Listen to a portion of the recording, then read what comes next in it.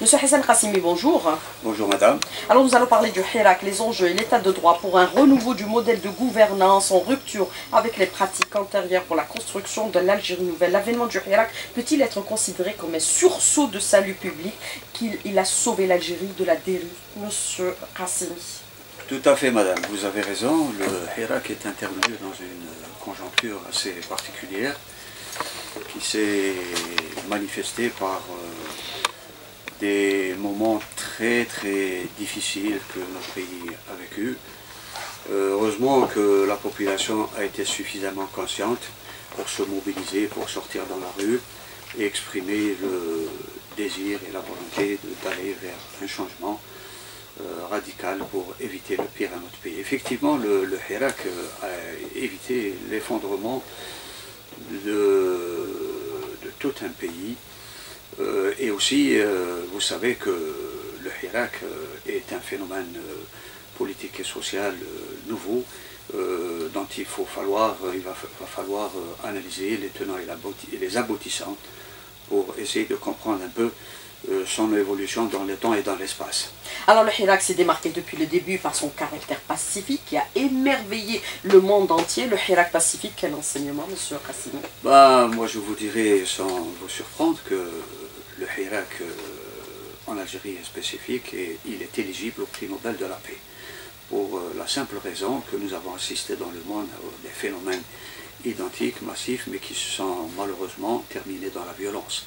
Jusqu'à présent, le Hirak euh, en Algérie a eu ses marques de noblesse et il a réussi à garder son caractère pacifique en exprimant de manière légitime les revendications de tout un peuple, à savoir le changement et le passage de l'Algérie euh, vers la modernité. Croyez-moi, madame, que ce sont absolument des revendications euh, auxquelles il faut être à l'écoute pour pouvoir les prendre en charge. Donc, ce sont là les quelques idées que je pourrais développer tout à l'heure avec vous lors du débat.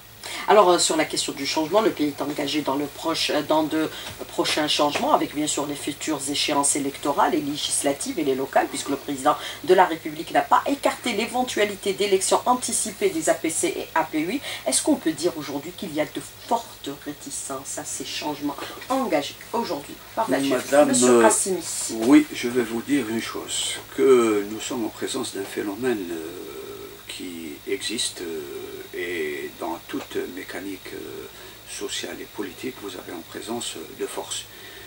La force euh, du progrès et du changement, et vous avez en face les forces de résistance qui vous empêchent d'avancer.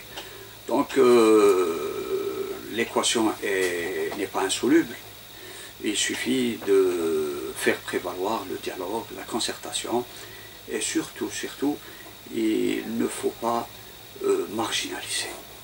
Il faut aller dans la perspective, dans une perspective de rassemblement de toutes les euh, franges de la société pour qu'on puisse constituer un front interne solide en mesure de faire face à toute éventualité, à des lendemains incertains, à des situations de crise sur le plan régional et international qui peuvent nous affecter si nous ne prenons pas les mesures qu'il faut, à savoir le rassemblement de toutes les composantes sociales, de, politiques, économiques de la société. Mais il y a un phénomène auquel je voudrais revenir et qui est important.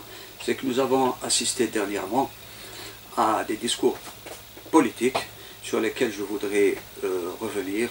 Donc il y a eu des déclarations qui sont, que je considère personnellement comme étant dangereuses, dans la mesure qu'on ne peut pas insulter le peuple algérien. Et là où le bas blesse, c'est que on essaye de manipuler un discours politique à des fins électoralistes qui, sont, qui nous desservent et qui desservent les intérêts de l'Algérie. Et c'est des discours qui divisent. On ne peut pas insulter la Dachara, ce n'est pas possible, c'est inacceptable.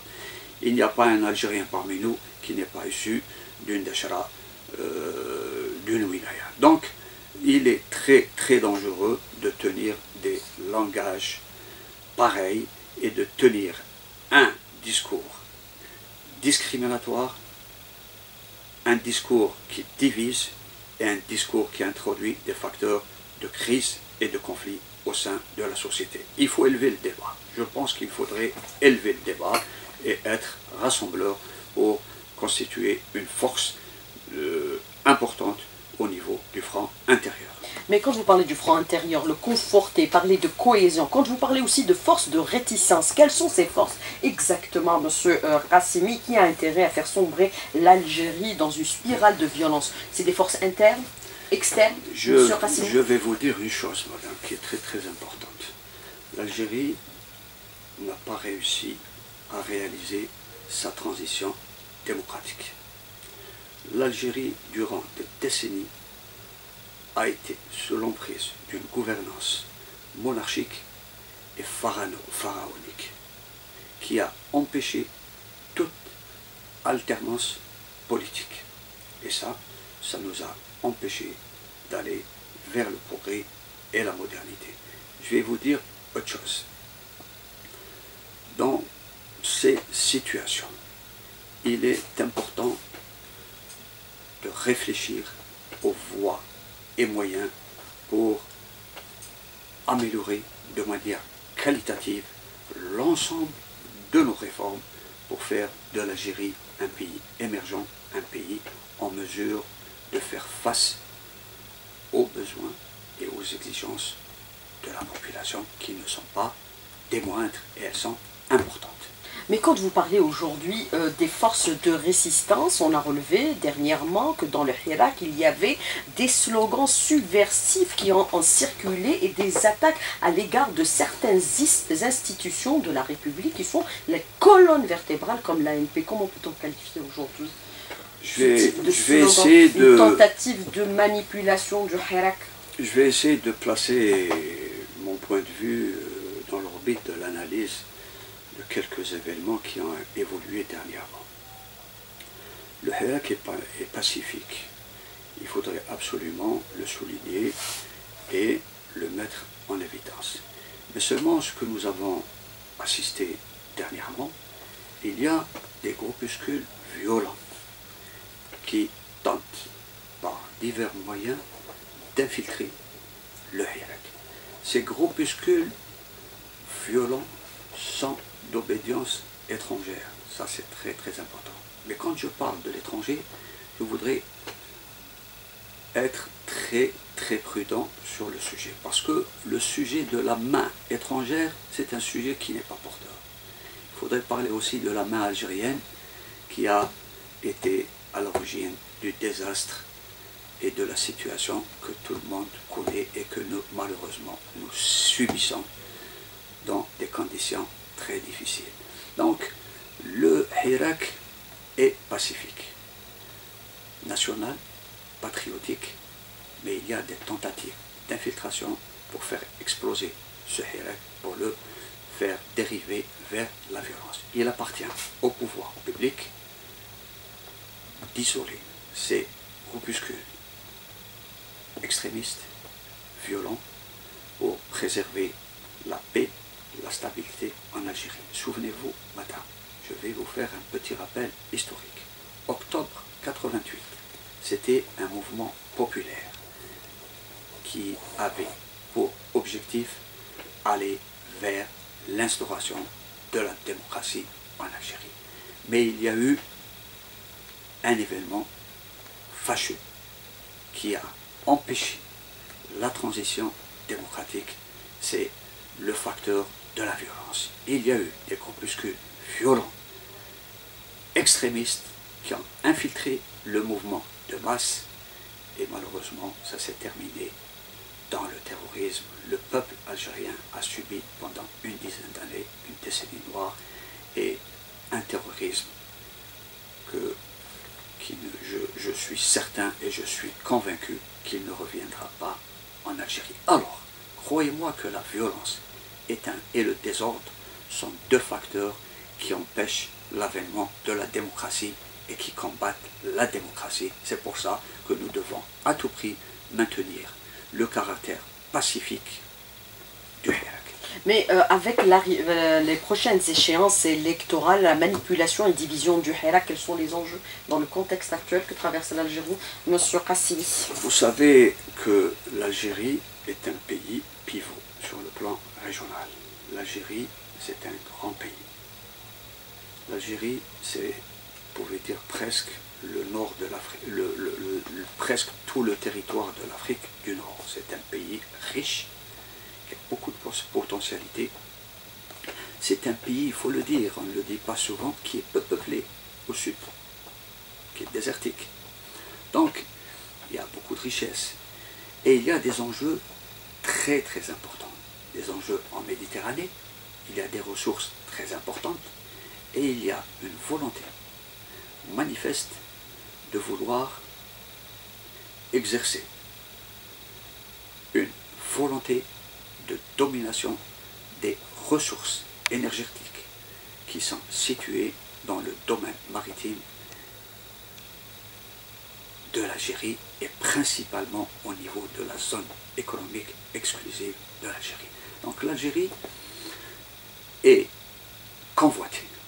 L'Algérie fait l'objet actuellement de menaces sur le plan régional ou au niveau du Sahel qui nous posent d'autres problématiques devant faire en sorte que l'Algérie s'effondre à tout prix, à tout prix pour ouvrir la voie à d'autres dominations économiques et politiques qui avancent à pas feutrés et nous, nous voyons ces scénarios qui sont en train de se développer et qui sont en train d'être mis en place principalement avec actuellement l'arrivée aux frontières du Sud d'une puissante, d'une puissante machine subversive de déstabilisation.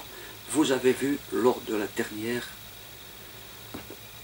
des dernières marches, vendredi passé, nous avons assisté à une évolution au niveau de la circulation de certains slogans qui sont plus ou moins subversifs.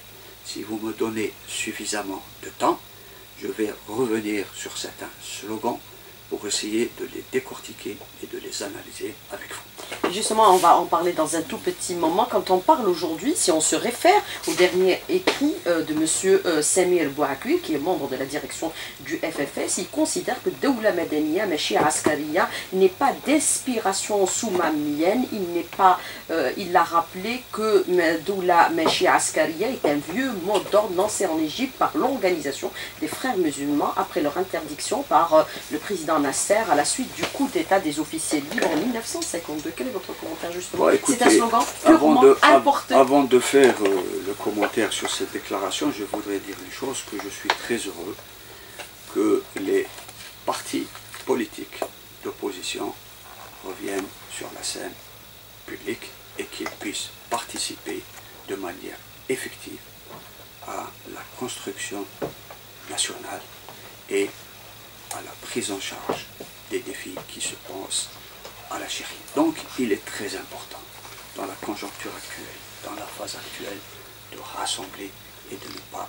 de, ne pas diviser et d'ouvrir la voie à toutes les forces de la nation pour constituer un front interne solide. Je dirais autre chose au niveau de la diaspora algérienne qui est à l'étranger on ne doit plus la diaboliser. Elle est importante. Elle est leader dans le monde et nous devons absolument l'intégrer dans le dispositif de construction nationale en leur donnant les possibilités et en les encourageant à investir en Algérie. Maintenant, pour le reste, pour les slogans qui ont circulé, j'essaierai de développer, de revenir sur les trois slogans. Le premier slogan, c'est. Ils, ont été exprimés en arabe, mais j'ai essayé de, les traduire en français. Le premier slogan est Rohoga. Le slogan de Rohoga, c'est un slogan nihiliste. Vous savez ce que ça veut dire nihiliste? C'est le vide. Si vous vous organisez pour mettre en place le vide. Donc, si vous organisez pour mettre en place le vide, c'est la solution à la libyenne. Vous savez, en Libye, mais qu'est-ce qu'il y a eu? L'État s'est effondré et c'est les milices qui ont pris le pouvoir armé. Donc si en Algérie, on met sur la place publique, on essaye de le valoriser, ça veut dire qu'il y a une volonté quelque part qui veut organiser en Algérie le vide, ouvrir la voie aux milices armées. Donc, on veut bien, mais pas dans le désordre. Mais il y a des institutions, il y a des lois, et celui qui veut représenter l'Algérie n'a qu'à passer par. Alors, euh, Monsieur Hassan Qassimi, on a bien sûr entendu certains slogans durant la dernière marche euh, du Hira, qui a jusque-là été un Hirak, euh, qui est encore un Hirak pacifique, une expression populaire pour le changement. On a entendu que visent aujourd'hui ces autres slogans entendus? Vous avez parlé de Rohoga, on entend aussi l'Istiqlal, Madaniya, Meshi Askaria. Bon, civil et non militaire. Bon, écoutez, c'est des slogans qui ont été euh, triés dans le volet par certaines officines, hein, je vous le dis, euh, dans le cadre de l'organisation du printemps arabe ou dans le cadre des révolutions qui se sont déroulées en Europe de l'Est, on a vu à peu près des slogans semblables. Bon, je vais revenir aux slogans qui, subversifs qui ont circulé lors des dernières marches. Il n'y a pas eu que des, des slogans subversifs, donc c'est une minorité. Donc pour le slogan alors là, Istiqlal, euh, vous savez, c'est un slogan djihadiste. C'est en quelque sorte un appel aux armes. C'est très très important. C'est un appel aux armes. Et il y a quelque part une volonté de faire passer le mouvement du Hirak vers une rébellion armée. Et là, le danger est, là. Parce que, euh, croyez-moi, qu'on ne doit absolument pas tolérer que des groupuscules violents et armés puissent compromettre le mouvement du Hera, qui est un mouvement béni, qu'on le veuille ou non. Maintenant, pour le deuxième euh, concept, c'est le concept euh, de Madaniya Masha Askaria. C'est un concept qui contient deux, deux entités en lui-même. C'est la société civile, la population et l'institution militaire. Il y a une volonté manifeste de vouloir créer la fracture entre la population et l'armée. Euh, l'objectif est d'affaiblir l'État et pourquoi pas essayer, s'ils euh, arrivent à installer le désordre et le trouble en Algérie, de provoquer l'institution, euh, un effondrement des institutions de l'État. Maintenant, le dernier slogan sur lequel je voudrais revenir, c'est le slogan, des slogans qui veulent un peu euh, décrédibiliser, le président de, la République. Là, je vais vous donner des exemples. Hein. Je vais vous donner des exemples aux États-Unis. Dernièrement, nous avons vu, et tout le monde a vu, des élections législatives présidentielles qui se sont organisées dans des conditions très difficiles. Il y a eu des contestations des élections. Croyez-moi que après la clôture du scrutin, il y a eu des millions de votes par procuration qui sont arrivés, mais les institutions légales ont validé les résultats et personne ne conteste la crédibilité du président Joe Biden personne n'est sorti dans la rue pour dire Madania Maché Askaria. Donc croyez-moi, madame, que la décrédibilisation de l'institution présidentielle est un slogan très très dangereux, hautement politique, dont les vues et les objectifs sont bien bien définis, à savoir l'installation du désordre et du chaos en Algérie et le désordre et le chaos ne construisent pas la démocratie. Regardez ce qui s'est passé au Moyen-Orient depuis 20 ans. Après ce qui s'est passé, ils sont toujours à la recherche d'un État qui puisse organiser et prendre en charge les affaires de la population. La Tunisie, à côté, depuis 11 ans, actuellement, malheureusement, et nous avons le regret de le constater, c'est un pays qui est en train de s'enfoncer dans le désordre et dans le chaos. Et j'espère que les forces vives de la nation de ce pays puissent faire le sursaut nécessaire pour dépasser les conflits et les ingérences étrangères qui veulent maintenir ce pays dans la situation actuelle. Mais certains analystes considèrent que des forces obscures et subversives manœuvrent pour empêcher l'Algérie de devenir un État qui compte sur le plan régional et qui milite en faveur des droits des peuples et d'une Afrique forte et indépendante et qui reste attachée à ses principes inaliénables pour, bien sûr, euh, la liberté et, euh, des peuples et des États.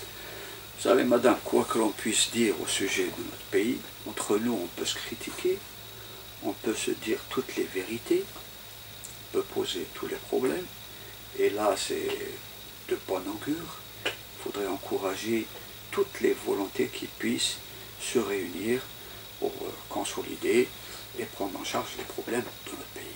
Mais, croyez-moi, parallèlement à cela, l'Algérie est un pays qui dérange. Pourquoi l'Algérie dérange? Nous avons une doctrine. Nous avons une doctrine de non-ingérence, de non-militarisation, une doctrine panafricaniste, une doctrine qui ne n'accepte pas que l'Algérie soit la chasse gardée ou la province d'un pays tiers. Donc, tout cela est aussi accompagné par une montée en puissance de l'armée algérienne. Ça c'est très important. Personne, nous avons atteint, notre armée nationale populaire a atteint un niveau de développement qui la met au même niveau que des pays très puissants au niveau de la Méditerranée Sud. Et cela dérange. Bien plus que ça, l'Algérie est en train de remettre sur scène de vieux projets stratégiques qui ont été bloqués et qui peuvent éventuellement concurrencer, concurrencer beaucoup de pays au niveau du sud de la Méditerranée et cela dérange aussi. Mais pourquoi ces slogans subversifs visent particulièrement l'ANP Vous savez, l'ANP, l'armée nationale populaire, l'héritière de est le dernier rempart qui peut protéger l'unité, l'intégrité et la stabilité du pays. On veut par tous les moyens déstabiliser et marginaliser l'une des institutions les plus fortes du pays en mesure de protéger l'Algérie contre toute menace actuelle, connue ou inconnue, dans le temps et dans l'avenir. Ça, c'est très très important.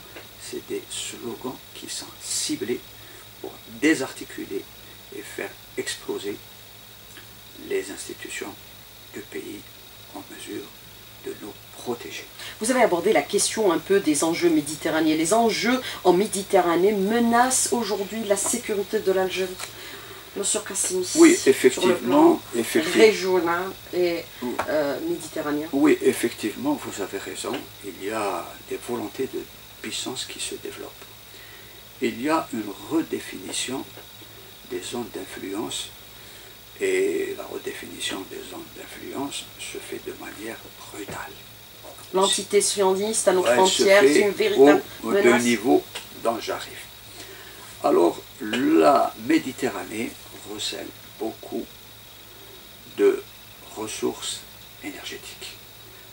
Depuis que l'Algérie a délimité ses frontières maritimes et sa zone économique exclusive, il y a eu des manœuvres occultes pour essayer d'attaquer l'Algérie sur, par des voies malhonnêtes, par des voies insidieuses, devant faire en sorte que l'Algérie ne se redéploie pas en Méditerranée et ne se redéploie pas avec force. Croyez-moi que l'Algérie est en train de développer ses capacités militaires maritimes en Méditerranée qui font de notre pays un pays qui compte, un pays qu'on doit consulter. Si vous avez remarqué dernièrement, il y a eu de très importantes délégations militaires américaines qui sont venus en Algérie sur des sujets très sensibles en Méditerranée, sur la sécurité et la navigation maritime au niveau de tout cet espace. Croyez-moi, l'Algérie a délimité ses frontières conformément au droit maritime international et sur le sur sujet, je pense que personne ne peut remettre en cause les positions de l'Algérie à ce sujet. L'entité sioniste à nos frontières, une véritable menace bah, aujourd'hui. Il faudrait rester extrêmement vigilant.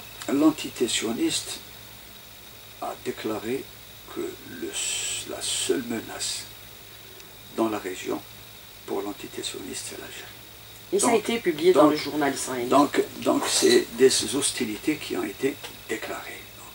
nous, on s'attendait à une telle évolution. Vous savez, notre voisin de l'Ouest a manifesté, a manifesté dans le temps plusieurs hostilités à notre égard, notamment durant les années 90. Le Maroc a été une base arrière et logistique des mouvements armés qui se sont redéployés sur le territoire national et qui ont attenté à notre sécurité et à notre stabilité. Ça, on le sait, madame. On s'est suffisamment préparé.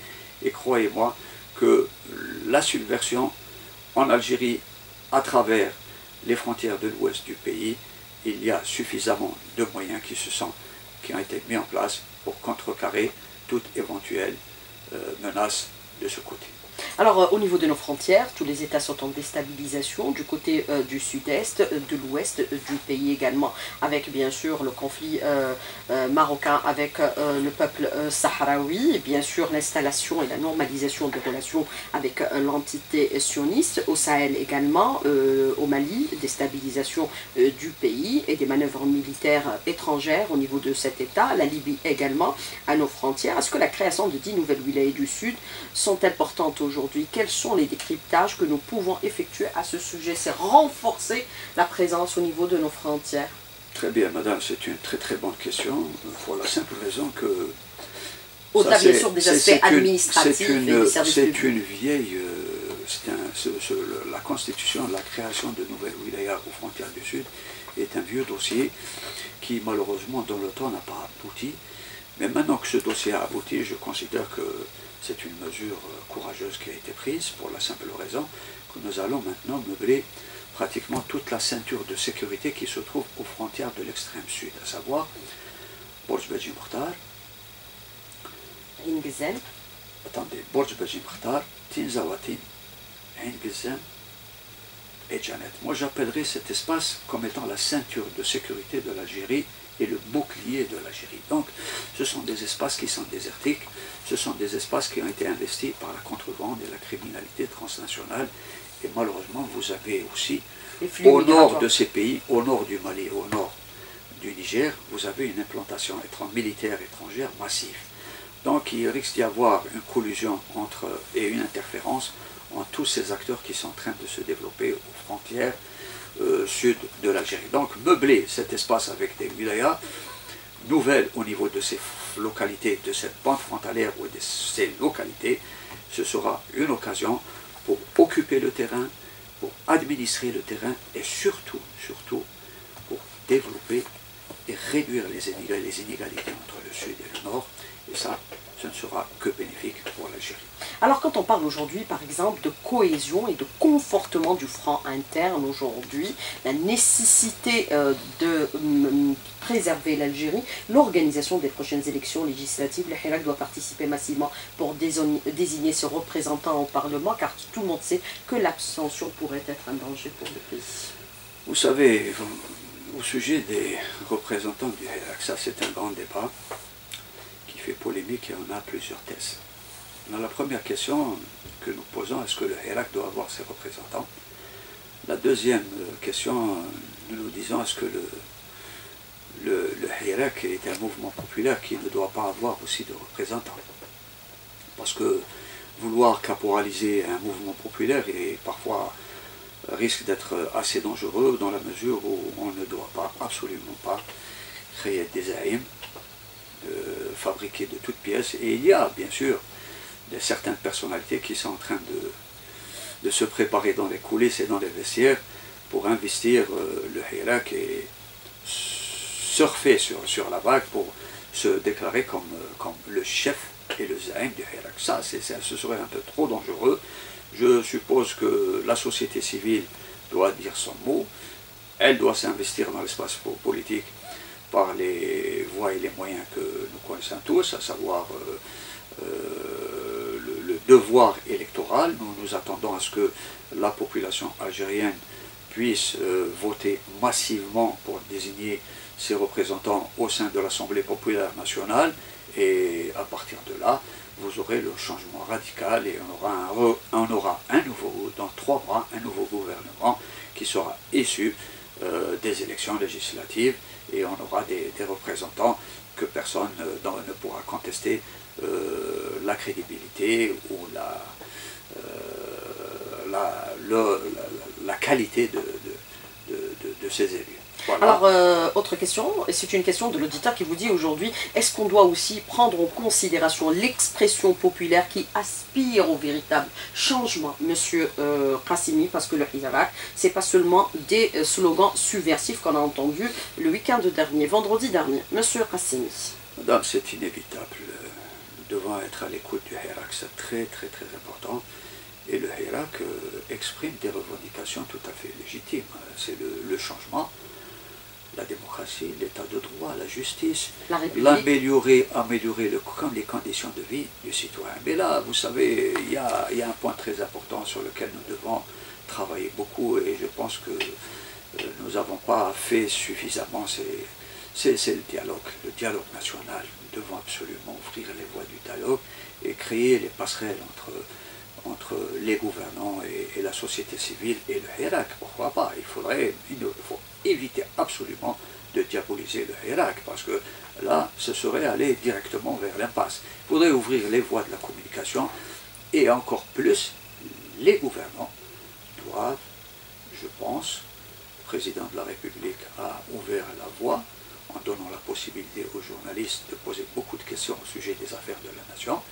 Et là, je me demande pourquoi pas les ministres, pourquoi pas les ministres ne viendraient pas chaque mois devant un parterre de journalistes écouter ce qui a été fait et informer le citoyen et la population directement de l'action gouvernementale, ce qui doit permettre de juger et d'évaluer ce qui a été fait et ce qui n'a pas été fait. D'autant plus, madame, d'autant plus, madame, souvenez-vous, la dernière réunion du Conseil des ministres. Le président de la République a institué un organe chargé de contrôler la mise en œuvre des décisions qui sont prises en œuvre, qui sont prises par le gouvernement. Là, madame, ça dénote un point très très très important. Il y a de très fortes réticences au progrès et à la modernité. Les réformes ne connaissent pas suffisamment de, de rapidité dans le temps. Il faudrait absolument que les réformes, la cadence des réformes soit accélérée pour donner des signaux à la population qu'il y a des changements sur le terrain. Alors, euh, est-ce que la volonté aujourd'hui, c'est de faire en sorte à diaboliser le Hirak, casser le Hirak par, bien sûr, les propos que vous tenez aujourd'hui Monsieur Hassan Qassimi, vous avez cette question de l'auditeur qui dit toute la volonté aujourd'hui des pouvoirs publics, c'est de casser ce Hirak. Écoutez, moi je vous donne un point de vue, euh, j'analyse un peu le développement des événements et je pense qu'il serait dangereux de diaboliser le Hirak seulement il serait important d'isoler les groupes extrémistes qui veulent absolument diaboliser et faire déraper le Hirak. La vigilance est de mise. Et de mise, et on doit absolument construire des passerelles entre les gouvernants et le Hirak. Le Hirak, c'est qui? Le Hirak, c'est la population algérienne. Il faudrait qu'on ouvre les espaces de communication avec tout le monde, sans exclusion. sans exclusion. Bien sûr, ceux qui sont partisans de la République. On ne discute pas avec ceux qui sont partisans de la monarchie. Mais les partis politiques démocratiques émiettés aujourd'hui, c'est un danger aussi. Oui, effectivement. Vous savez, l'une des conséquences de la gouvernance pharaonique et monarchique, c'est d'émietter l'opposition et de casser les contre-pouvoirs. Ça, ce n'est pas quelque chose de constructif et de bénéfique pour notre pays. Vous savez, si vous cassez les vous mettez en place une tyrannie. Et la tyrannie, vous savez ce qu'elle ce qu'elle a produit en Algérie, c'est la décadence. Et l'Algérie se trouve classée au bas du tableau des classements internationaux. Donc, nous avons, nous avons l'obligation d'aller très vite pour moderniser le pays et instituer l'État de droit. Tirer les enseignements de ce que nous avons vécu par le passé pour éviter à l'Algérie de sombrer encore dans une spirale de violence. Monsieur Hassan Kassimi, merci d'avoir répondu à nos questions et d'avoir été en direct avec nous ce matin dans le studio. Merci beaucoup, bonne journée, à bientôt, au revoir.